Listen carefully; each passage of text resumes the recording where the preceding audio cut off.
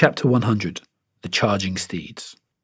I swear by the charging steeds that you value so dearly, that raise clouds of dust while making dawn raids when you strike down the enemy.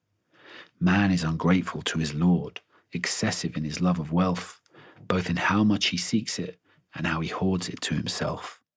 Doesn't he know there are no secrets from God? On Judgment Day they will all be laid bare, and all mankind will answer to the one who is all aware.